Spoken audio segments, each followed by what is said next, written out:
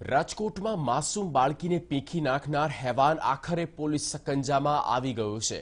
ચોવીસ કલાકમાં જ પોલીસે બાળકી પર દુષ્કર્મ ગુજારનારા શખ્સને ઝડપી પાડ્યો. આ સમગ્ર ઘટનામાં આરોપીને શોધવા માટે પોલીસની દસથી વધુ ટીમ કામે લાગી હતી, જેમાં વીસથી વધુ લોકોની પૂછપરછ બાદ આરોપીની ભાળ મળી, જેમાં શહેરના ભારતનગરથી આરોપીને ઝડપી લેવાયો. આરોપી નશાનો બંધાણી હોવાનું સામે આવ્યું છે. તેણે નશાની હાલતમાં આ સમગ્ર ઘટનાને અંજામ આપ્યો હોવાની શંકા છે. મહત્વનું છે કે રાજકોટમાં રહેતો એક શ્રમિક પરિવાર રાત્રે સૂતો હતો અને તે દરમિયાન આરોપી બાળકીને ઉપાડી ગયો. આરોપી બાળકીનું અપહરણ કરીને અવાવરું જગ્યા લઈ ગયો હતો, જ્યાં તેણે માસૂમ બાળકી પર દુષ્કર્મ ગુજાર્યું હતું.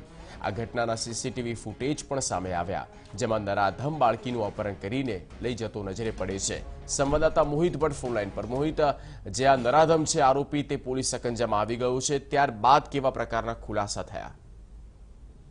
જગદીશ ટૂંક સમયમાં જ રાજકોટ પોલીસ કમિશનર છે, તેમના દ્વારા પત્રકાર પરિષદ કરવામાં આવશે અને આ નરાધમ છે તેની માનસિક સ્થિતિ કેવી છે, મનોસ્થિતિ કેવી છે અને તેને અગાઉ આવા કોઈ ગુના આચર્યા છે કે કેમ, તે અંગે અનેક ખુલાસાઓ થઈ શકે છે. જો કે પોલીસની આ મોટી સફળતા કહી શકાય, ચોવીસ કલાકની અંદર જે આઠ વર્ષની માસૂમ બાળકીને પીખી નાખનાર આઠ વર્ષની માસૂમ બાળકીને પોતાની હવસનો શિકાર કરનાર હવસખોરને પોલીસે ઝડપી પાડ્યો છે. પોલીસ દ્વારા અલગ અલગ આજે દસ જેટલી ટીમો બનાવવામાં આવી હતી. વીસ જેટલા શંકાસ્પદ લોકોને ગઈકાલથી રાઉન્ડ અપ કરવામાં આવ્યા હતા. દરમિયાન આજે રાજકોટના ભારતનગરમાં રહેતો અ, હરદેવ નામનો જે વ્યક્તિ છે હરદેવ નામનો જે શખ્સ છે અને તે નાપ પાવા આપોતે હોવાનું સામે આવ્યું છે અને તેમના દ્વારા આ કૃત્યને અંજામ આપવા હોવાનું સામે આવતા પોલીસે તેની ધરપકડ કરી છે.